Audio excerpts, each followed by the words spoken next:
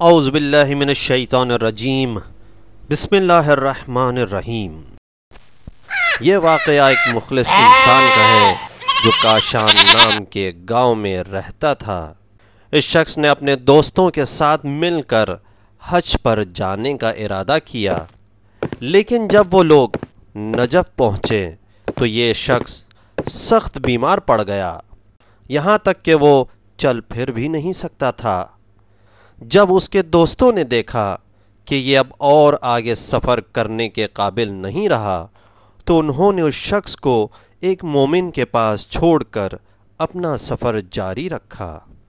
ये मोमिन अमीरमिन अली सलाम के हरम मुबारक के नज़दीक एक छोटे से घर में रहता था। वो रोज़ सुबह इस बीमार शख्स को घर में अकेला छोड़कर अपने काम के लिए चले जाते थे। रफ्ता रफ्ता दिन गुजरते गए।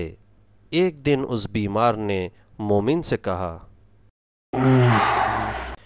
मैं एक जगह रह रह कर थक गया हूँ। तो आपसे गुजारिश है कि आप मुझे कुछ देर के लिए बाहर ले जाएँ। उस मोमिन ने इस बीमार को मदद करते हुए गाँव के बाहर एक जगह ले गया। ये जगह मकाम हज़रत हजत इमाम ज़माना सलाम से मंसूब थी। यहाँ एक ठंडा पानी का चश्मा बहता था।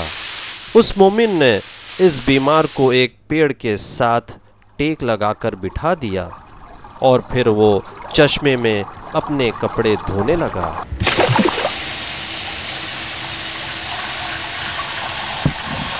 उसके बाद उन्होंने धुले हुए कपड़ों को एक पेड़ की डाल पर सुखा दिया और अकेले जंगल की सैर के लिए निकल पड़ा। ये बीमार शख्स अकेले पेड़ के नीचे बैठे सोच रहा था कि आगे क्या होगा, किस तरह वो ठीक होगा। वो ये सोच ही रहा था कि अचानक उसने देखा कि एक खूबसूरत नौजवान उसके करीब आया और सलाम किया। और फिर एक तरफ़ खड़े होकर नमाज़ अदा करने लगा।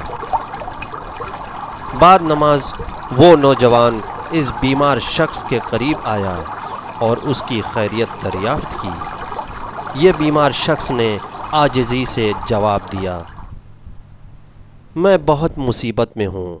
अल्लाह ताला मुझे इस दर्द से ना नजात दिलाता है और ना ही मुझे मौत देता है। ये बात सुनते ही वो नौजवान ने कहा कि तुम्हारी दोनों बातें सच हो जाएँगी। और फिर वो नौजवान आँखों से ओझल हो गया।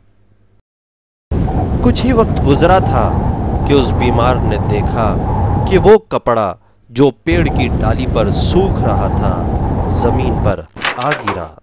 उन कपड़ों में से एक कपड़ा ज़मीन पर आ गिरा।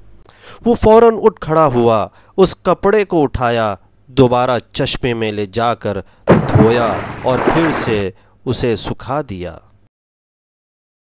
तब अचानक उसे ख्याल आया, मैं तो बीमार था और चल फिर नहीं सकता था।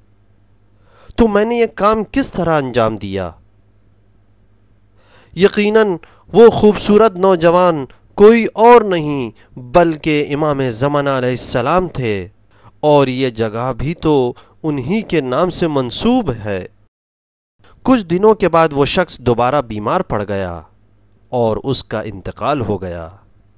इस तरह इमाम ज़मान सलाम की दोनों पेशंगुइयाँ पूरी हुई।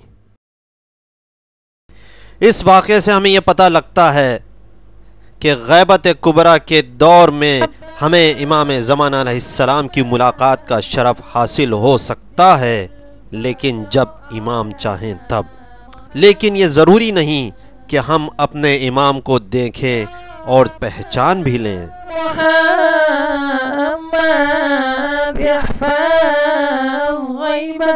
देखा बच्चों किस तरह इस शख्स को इमाम ज़माना सलाम से मिलने का शरफ़ हासिल हुआ। आइए हम दुआ करें परवरदिगारा हमें उनके नूरानी चेहरे की ज़ियारत अता फरमा।